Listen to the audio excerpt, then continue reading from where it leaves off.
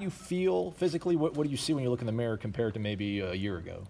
Um, what I see is when I look in the mirror, I see a, um, a leader, a person who's gonna um, gonna step up and um, get ready for next year. Um, really, a man like that's really forming like a, a better person, as in when it comes to leadership and and like being that person that they need me for the team.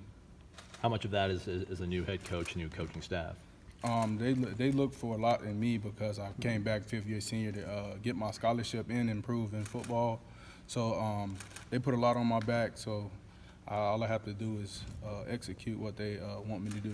What about Coach O in terms of what, what he's been able to do for you guys, a strength coach? Uh, do, you, do you see gains and do you, do you feel any different? Um, yes, I see a lot of games with um, Coach O. Um, we uh, get in, in two hours a day every morning. Mondays, uh, Tuesdays, Thursdays, and Fridays, um, running and conditioning. Um, he's been he's making us faster, bigger, uh, making sure we're eating the right things and stuff like that. Demarcus, talk about uh, the decision to come back and how you made that. Um, sitting in the car with my mom after the uh, bowl game, um, she was like, "So, um, what you what what do you want to do?" Um, me coming to my house like, um, maybe I want to take the chance.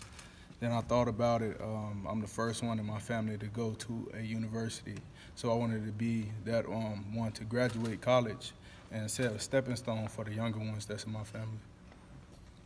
We heard Coach Taggart talk about what it's like for him to come back here.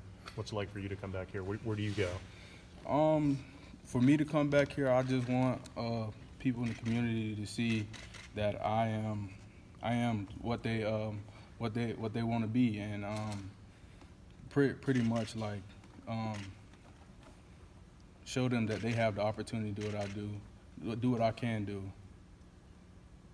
What similarities do you see between Coach Kinnan's coaching style and Coach Taggart's? Um, the speed. Uh, I would say Coach Taggart's uh, offense is a little faster. Um, Coach Kinnan, it was fast, and um, he knew how to win. They both know how to win.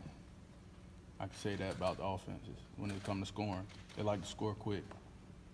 We keep seeing all these tweets from you guys, all, all the fun you guys are having. We talked about during the spring. Is that carrying over into to the off season and the summer for you guys? Uh, yeah, it's workouts. You got to have juice. Everything, you, you, everything we do, you got to have juice with it. You got to have fun.